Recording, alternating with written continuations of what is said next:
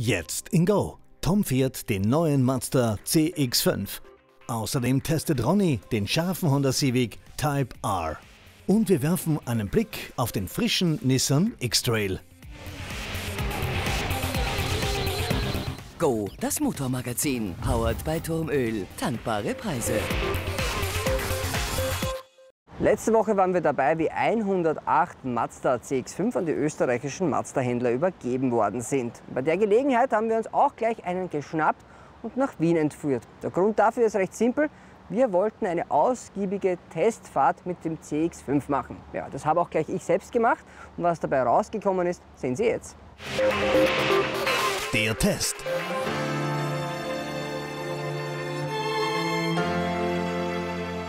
Das Leben wird immer schneller und mittlerweile muss jedes Fahrzeug, das auf den Markt kommt, dynamischer und aufregender als sein Vorgänger sein. Scharf geschnittene Linien, garniert mit fernöstlicher Philosophie.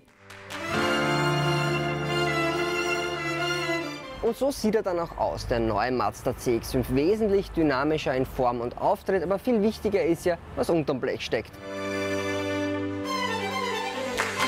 Denn dort spielt schließlich nicht nur die Musik, sondern auch alles, was das Auto an sich ausmacht. Denn die fesche Hülle allein macht noch keinen neuen Verkaufsschlager. Der Mazda CX5 besitzt über innere Werte, die sich durchaus sehen lassen können. Zum einen haben sich die Interior Designer großzügig dem Innenraum gewidmet. Dabei haben sie auch gleich mal alle piefigen Materialien des Vorgängers entsorgt und einen wirklich hochwertigen Innenraum geschaffen.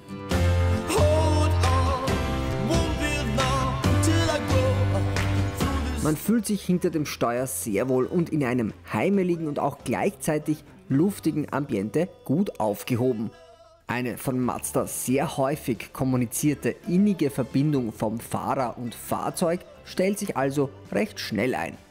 Jimba Itai nennt man das bei Mazda. Ich nenne das maximale Annäherung an den Mazda Markenkern. SUVs gibt es mittlerweile viele und das ist natürlich für einen Hersteller wie Mazda wichtig, sich so zu positionieren, dass er auch zur Marke passt. Also gibt der CX-5, der neue, den Dynamiker. Erreicht wird das Ganze durch eine Lenkung, die sehr viel Feedback gibt und ganz wichtig, weil ein typisches Mazda-Sahnestück die Schaltung. Und dazu kommen natürlich auch noch Motoren, die sich ganz dem Downsizing verweigern, nämlich Sky Active Motoren mit vernünftig Hubraum zum Beispiel über 2 Liter und das Vierzylinder in der Klasse, das ist schon fast ein bisschen eine Seltenheit. Durchzugsstark und emissionsarm.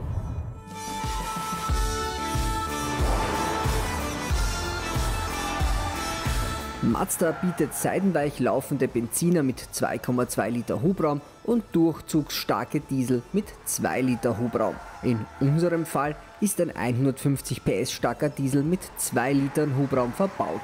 Er leistet 380 Newtonmeter an Drehmoment, die er an das Allradsystem schickt.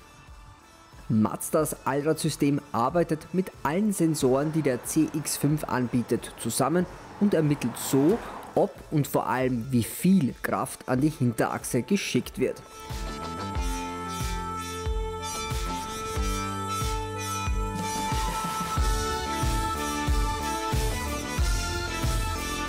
Liegt kein Bedarf an, läuft der CX5 rein frontgetrieben. Kein System für Bergsteiger, aber überaus clever im Alltag.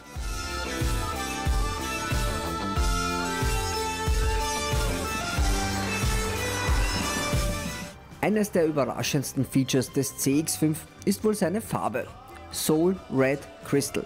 Nun, Rot ist ohnehin schon die Farbe von Mazda, aber mit dieser neuen Variation ist tatsächlich keine andere Lackierung mehr denkbar. Der Farbton lässt am CX5 jede noch so kleine Lichtkante erstrahlen. Da zahlt man dann auch gerne die 890 Euro Aufpreis, die der Edellack kostet. Und Im Grunde ist der Mazda CX-5 aber der alte geblieben. Allerdings mit wesentlich mehr Talenten, besserem Design und offensichtlich wesentlich mehr Rot. Dass es einen brandneuen Seat Ibiza gibt, hat sich unter Autofreunden ja schon herumgesprochen. Aber wie viel vom Urgedanken des Seat Ibiza Nummer 1 steckt eigentlich noch im neuesten Modell? Um das herauszufinden, haben wir uns einen der allerersten jemals gebauten Seat Ibizas geschnappt und sind eine Runde damit gefahren. Und bei der Gelegenheit haben wir auch gleich den Gralshüter der Seat-Geschichte getroffen. Also anschnallen und los geht's ins Jahr 1984. Der Jack.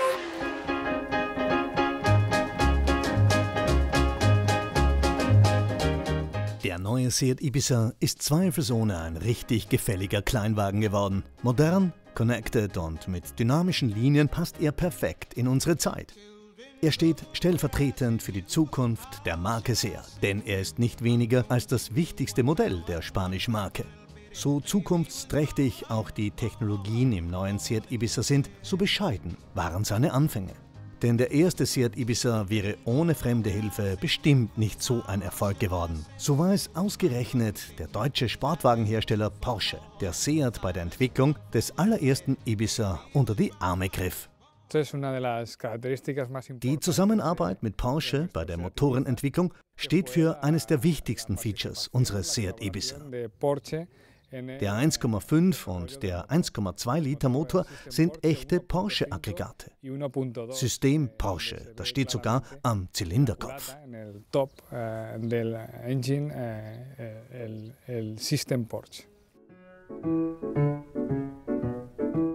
Der Ibiza Nummer 1 erblickt 1984 das Licht der Öffentlichkeit und steht ab diesem Zeitpunkt stilprägend für alle weiteren Modelle der Marke Seat. Das Design stammt aus der Feder von niemand Geringeren als Giorgio Giugiaro. Er zeichnet sich unter anderem auch für das Design des allerersten VW Golf verantwortlich. Wenn man den ersten Seat Ibiza ein wenig genauer betrachtet, sieht man den Golf 1 an manchen Stellen sogar ein wenig durchblitzen. Nichtsdestotrotz ist es der erste Ibiza, der das Image der Marke Seat in die Geschichtsbücher der Automobilindustrie schreibt. Ibiza ist äh der Ibiza ist für uns wie eine eigene Marke. Es gibt Länder, da kennt man den Ibiza besser als die Marke Seat selbst. Offensichtlich, nach fünf Generationen hat sich der Ibiza auf eine sehr rationale Weise weiterentwickelt. Er steht für mediterranen Charakter und typisch spanisches Design. Das sind für uns sehr gute Zutaten für die Zukunft. Y eso le da, pues, eh, nos da una perspectiva muy buena de cara al futuro. Mit seiner Länge von 3,60 Metern und einer Breite von 1,6 Metern wirkt er neben dem aktuellen Seat Ibiza fast schon zierlich. Kein Wunder, muss der neue auch jede Menge Technik sowie aktive und auch passive Sicherheit unter seiner Karosserie verbergen. Die Sorge der Insassensicherheit war damals noch nicht das Hauptthema bei der Fahrzeugentwicklung. Einziges Sicherheitsfeature, ein Drei-Punkte-Gurt. Mehr nicht. Der Ibiza Nummer 1 wollte ohnehin mehr mit seiner Dynamik und seinem überragenden Platzangebot überzeugen. Als wir den Ibiza 1984 auf den Markt brachten, transportierte er ein junges, dynamisches Image. Mit Motoren, die stark genug für ein herausforderndes Fahrerlebnis waren. Darüber hinaus bot er große Innovationen, wenn es um das Raumgefühl im Auto geht. Der Wagen hatte wirklich ein sehr geräumiges Interieur, auch wenn man es im Vergleich mit dem neuen Ibiza gar nicht mehr so wahrnimmt. Aber Autos sind ja heutzutage generell erheblich größer. Pero claro, los coches han aumentado de tamaño de forma considerable. Innovativ und dynamisch ist der Ibiza selbst in der fünften Generation noch. Dabei aber sicherer und effizienter als je zuvor. Seine Wurzeln nämlich die des leistbaren Kleinwagens, der das gewisse Extra bietet, hat er aber offensichtlich nie vergessen.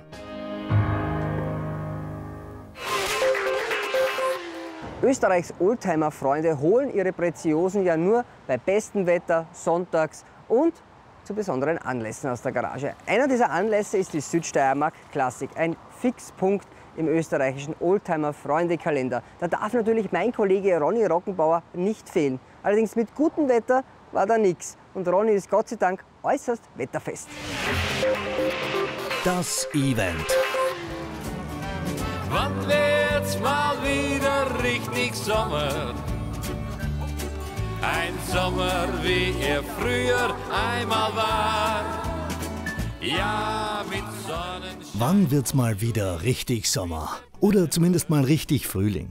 Diese Frage stellte sich wohl so ziemlich jeder Teilnehmer der diesjährigen Südsteiermark Classic. Denn Petrus bedachte die feine Oldtimer Rallye mit einem Greatest Hits auf Regentropfen. Große Tropfen, kleine Tropfen, Schnüllregen und Platzregen.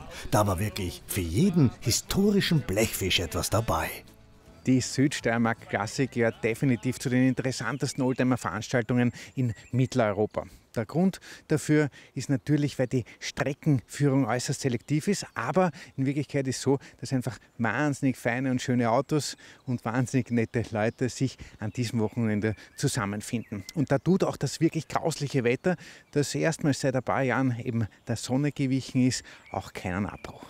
Da hat Ronny völlig recht. Der Südsteiermark Klassik wohnt eine ganz eigene Eleganz inne.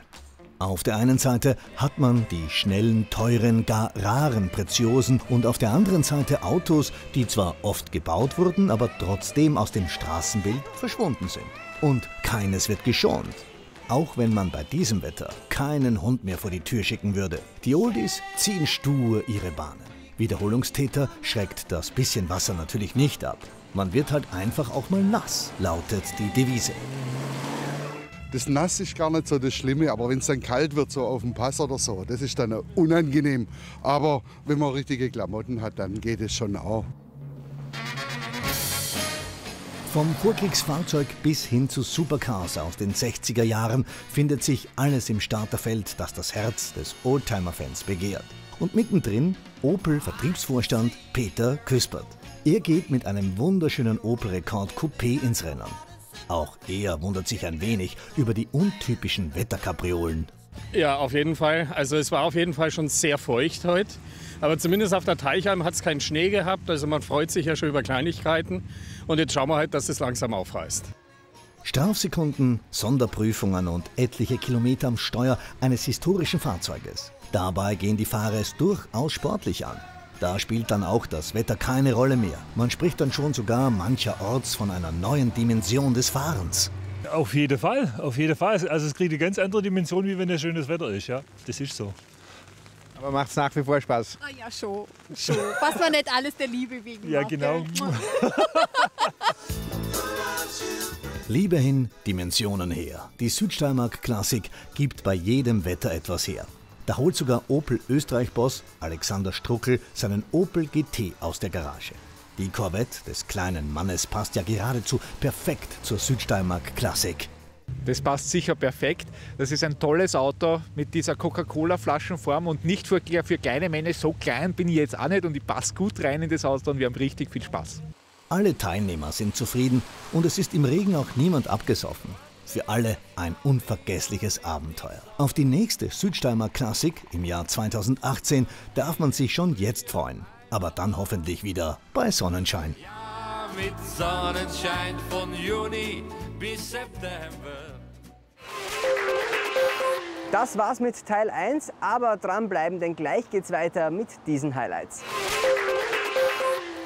Gleich in Go. Ronny geht ans Limit im Honda Civic Type R und wir fahren den neuen Nissan X-Trail. Also unbedingt dranbleiben.